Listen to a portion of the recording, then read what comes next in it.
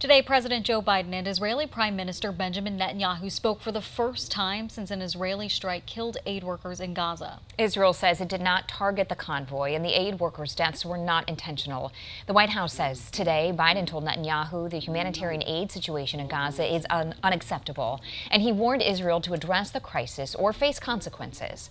The White House says Biden also told Netanyahu Israel needs to announce and put into place specific, concrete, and measurable steps to address civilian harm harm and the safety of aid workers. The seven people killed in the strike worked for World Central Kitchen.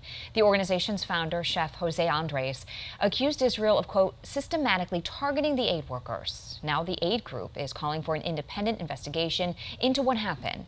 World Central Kitchen says it asked the Israeli government to preserve all documents, communications, video and audio recordings, and other relevant material related to the strike.